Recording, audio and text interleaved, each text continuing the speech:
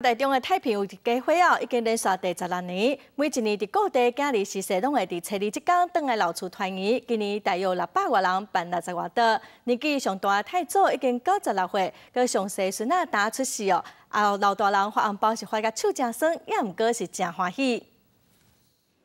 小朋友巧好等台领红包，不过领红包进前，就要先向长辈拜年，讲吉祥话。给他做亲一下，你亲一下，亲一下，亲一下。阿嬷是笑甲真欢喜，红包连续发了几啊个，虽然孙仔的名想半工是想袂起来，不过看到一家团圆，九十六岁太祖也是上欢喜。哦，这这无当算你若个家己的亲的，我都有法度，啊，若迄我无法度好。另外一头总破西是非常无言，一面准备椅刀啊，一面准备一工的菜色。台中太平五代同堂的张姓这家伙啊，但年初二拢回到太平老家，一家伙啊团圆，但年人数拢创新高。今年算算的，大约就超过六百外人，从整个老家挤个满满。就连食饭嘛爱办六十外桌，大家轮流分配食。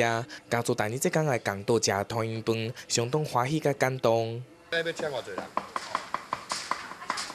今日六十八度。嘿啦，伊逐年拢安尼啦。这领大规模的回娘家，张姓家族已经是第十六年。毋那回娘家的人数会使讲上多，上长的太祖甲上细的孙仔，年岁差了要一世纪。但是这个时阵家人团圆，因讲就算讲再无闲，嘛一定要保持安尼传统甲场面，希望使一代一代延续落去。记者台中综合报道。